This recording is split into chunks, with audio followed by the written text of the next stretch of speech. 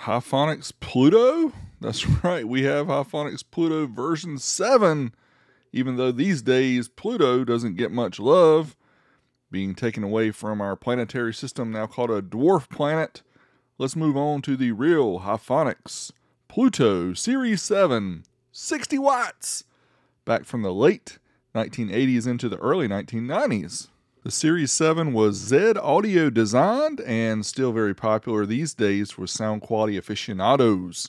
Here on one side of the amp, very basic, you see the HiFonics logo, you see left and right RCA inputs, level control from 0.25 up to 2.5 volts.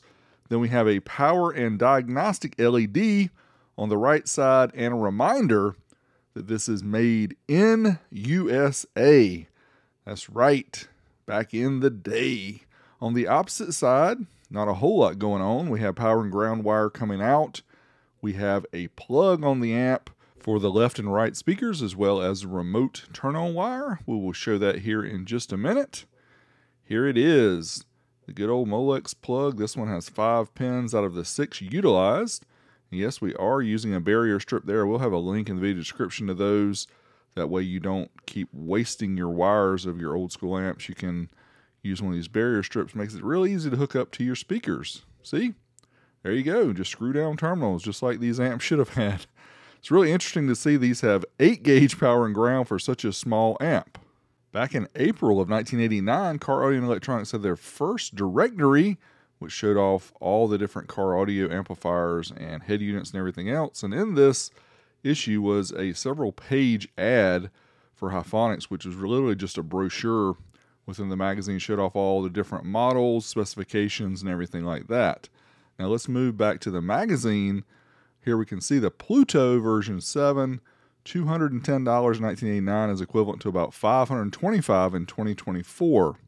As for the dimensions of the amp, 8.7 inches by 3.9 by 2.5 inches. As for ratings, this was their second smallest amplifier out of 16 at 4 ohms rated 30 by 2, 2 ohms 60 by 2, or 120 watts at 4 ohms bridged. I never understand why some companies use red or orange for power LEDs. In my opinion, needs to be green or blue.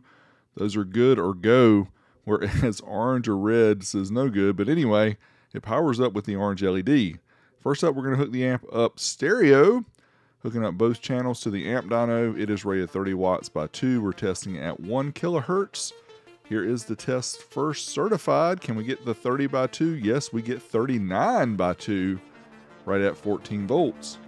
Let's try it uncertified up to the clipping point. See if we can beat 39 watts, and yes we do. 42 watts per channel. The channel equality here is really good on this 25 year old amplifier. Let's try dynamic, which sends a 1 kilohertz pulse tone into the amp. You can see here very close to 44 watts per channel, right at 14 volts. Not bad. Let's try 2 ohms. It's rated 60 watts by 2, which is kind of unusual for an amplifier to double its rating. That typically doesn't happen with Class AB amps, but here we go 66 watts per channel, right at 14 volts. So it definitely does the 60 plus a little bit more uncertified to clipping. Do we beat 66? Yes, we do.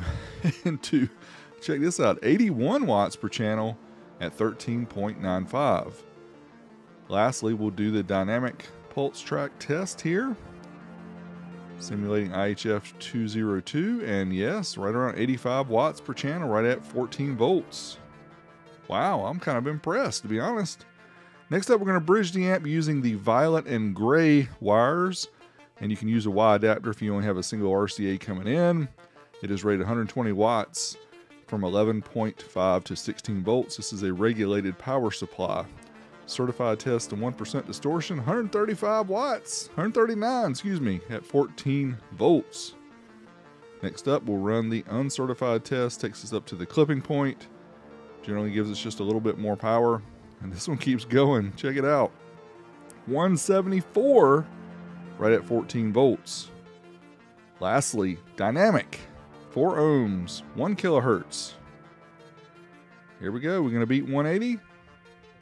179 at 14.05 volts.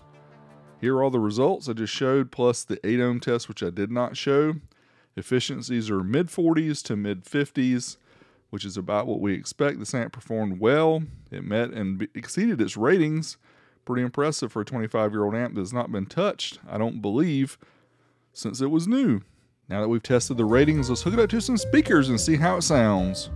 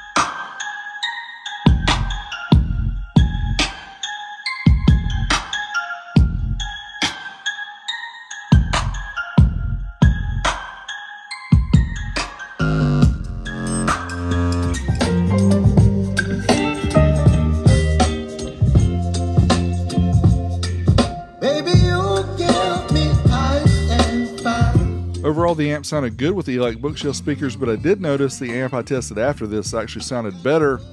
But we'll talk about that later when I show the amp off. Now let's take off the end plate here, or the side plate, I guess you'd call it, so that we can get to the inside of the amp. take off four screws plus the one that holds the RCAs that takes off this end panel. Just it's amazing the condition of this amp and how good quality it is to be 25 years old. It looks like it's just a couple years old. These amps, when you flip them over, you have to slide the bottom plate off, and you have to be careful because some of them actually have a little latch there on one side. This one did not, so you don't have to loosen up the other side panel. Here you go, taking off one side plate, taking off the bottom panel, and here's the Pluto model badge, which is really amazingly good condition. And not only that, the quality of this thing, it's aluminum it just looks like it's super fancy, like it cost a lot of money to make that thing back in the day. Here's the internals, typical Z audio design amplifier. And this one, not a whole lot going on here because it's not very powerful. But here you can see a 2200 microfarad 35 volt Nichicon there near the power supply section. Then we have 470 microfarad 35 volts. Look like those are for the rails. Pluto made in the USA, stamped right on the circuit board. Now, since this was one of the smaller HiFonics, I don't believe this one had the very power design, but it did have the regulated power supply, so you could use it from 11.5 to 16 volts and get about the same output power. And here's a few other amps that we're going to test out coming in the future. Hope you guys enjoyed the video. Make sure you smash me a thumbs up, subscribe to my channel. Until next time, Big D, I'm out of here. Now, just for kicks, we ran the 4 ohm mono test at 40 hertz just to give a comparison to the 1 kilohertz, and we still got 142 watts. It's rated 120, so it definitely did its rated power plus a little more. But we also ran 2 ohms dynamic at 1 kilohertz. This amp is not rated 2 ohms mono, but you can see this little tiny Class AB amp kicking it 230 watts, 13.97. Big D, I'm out.